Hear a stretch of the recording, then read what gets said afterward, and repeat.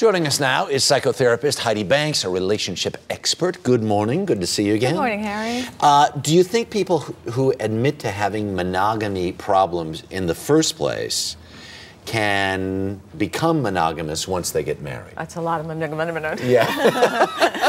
yes, absolutely. I think when you're honest about who you are, it's always bodes well in a relationship. right. So even in this state where both of them have had serious problems Right. in this area, Yeah. which actually they never looked at as a problem. Yeah. Yeah. I guess that becomes the question then. They're public people. They, uh, you know, sort of publicly pledge fidelity, assuming they're not uh, faithful to each other.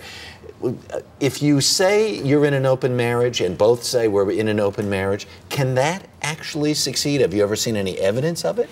I would say the percentage of success in open marriages is less than half of 1%, Yeah. if that much, Right. to even attempt it.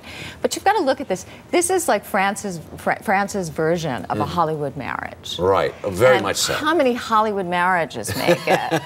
you know, I mean, really look at it. You've got your Paul Newman, Joanne Woodwards, Yeah. but they've been out of the limelight. These are two people who are fighting for limelight, each Right. of them. This is a rock star who's used to cameras going, you know, Sure. 24/7 on and her. attention, yeah. Yeah, yeah. Attention deficit problems here, maybe. But it's Right. France. Okay. So France, we, we So- can't let that go. So if they called you up and they said, uh, "Okay, Heide, help us out here. Give us some advice. What advice would you give them to to continue through their lives together?" Well, I think they both have to sit down and decide that they're really interested in an intimate relationship. I mean, one of the things when she got to the altar, Mm-hmm. the first thing she said was, you know, uh, love, honor, and uh, I hope it works out. I don't know how many weddings you've been to where that's been, you know, the statement, but, Yeah, right. Uh-huh. you know, and I do hope it works out for them. It, It's possible.